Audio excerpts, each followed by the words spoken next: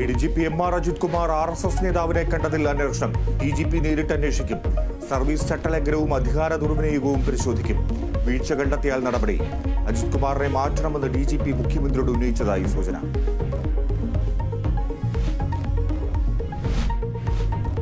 ബലാത്സംഗ കേസിലെ മുൻകൂർ ജാമ്യത്തിൽ എം എൽ എ എം മുകേഷിനൊപ്പം സർക്കാർ. മുൻകൂർ ജാമ്യം ലഭിച്ചതിൽ അപ്പീൽ നൽകേണ്ടെന്ന് നിർദ്ദേശം നീക്കം അന്വേഷണ സംഘം ഹൈക്കോടതിയിൽ അപ്പീൽ നൽകാനിരിക്കെ.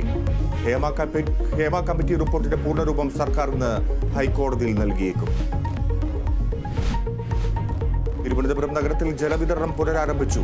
ഐരാണിമുട്ടം ആറ്റുകാൽ എന്നിവിടങ്ങളിൽ വെള്ളമെത്തിച്ചു. ഉച്ചയോടെ തലസ്ഥാനത്ത് എല്ലായിടത്തും വെള്ളം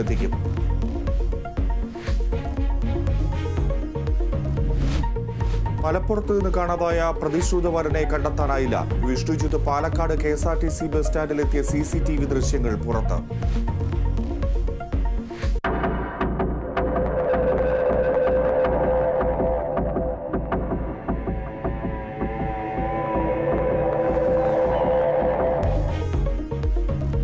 വിഷ്ണു കോയമ്പത്തൂരിലേക്ക് പോയതായി സൂചന.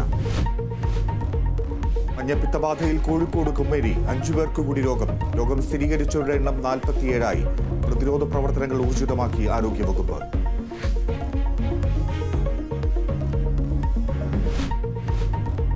യു എസ് ഓപ്പൺ പുരുഷ സിംഗിൾസ് കിരീടം ജാനിക് സിന്നറിന് നേരിട്ടുള്ള സെറ്റുകൾക്ക് അമേരിക്കയുടെ ടൈലർ ഫ്രിക്സിനെ തകർത്തു. ഇറ്റാലിയൻ താരത്തിന്റെ രണ്ടാം ഗ്രാൻഡ് സ്ലാം കിരീടം.